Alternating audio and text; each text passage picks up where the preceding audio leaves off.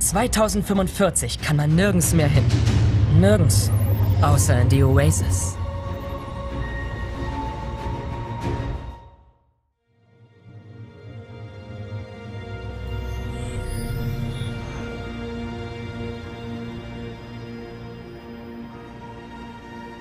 Ich bin 2025 geboren.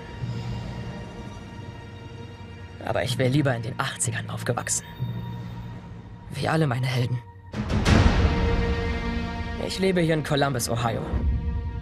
2045 immer noch die am schnellsten wachsende Stadt der Erde. Was einem aber nicht so vorkommt, wenn man in den Stacks wohnt.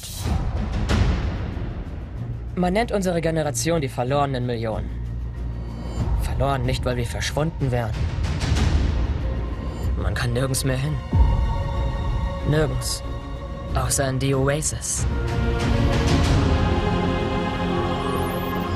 Hier habe ich das Gefühl, dass ich was wert bin. Eine Welt, in der die Grenze der Realität eine eigene Fantasie ist.